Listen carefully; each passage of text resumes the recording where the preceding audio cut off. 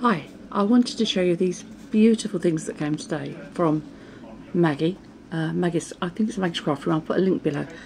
I buy off of a lot of people on Facebook. Well, Ems, um, Trinket Parlour, and Mag Maggie and uh, Margaret, and there's a couple of others.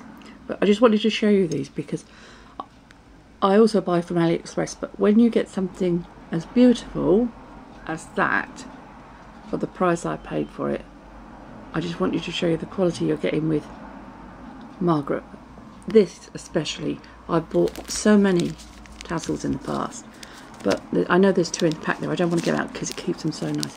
They are not thin, they are not stingy, they look beautiful, they feel gorgeous. If you're going to buy them, this is the place to buy them. I got them, she does a range of colours, but I, I, I like these two colours.